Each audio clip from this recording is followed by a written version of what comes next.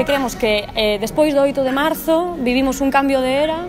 no que eh, está moi ben que disfrutemos, que festexemos, pero que tamén nos paremos a reflexionar. E creo que o temos que facer tamén dende o noso espacio político sobre que queremos nos facer, aportar, cal é a nosa responsabilidade con esta nova era feminista que estamos a vivir e como podemos a facer dende a política institucional. Música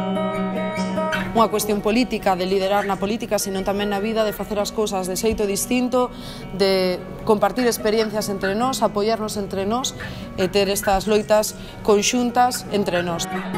Hablar de algo que, yo creo que es la punta de lanza del proceso democratizador en España, como es la lucha de las mujeres por conseguir la igualdad y que no es una lucha solo nuestra, sino del conjunto de la sociedad para ser más justas, más demócratas y para tener una sociedad donde todas las vidas merezcan la pena ser vividas.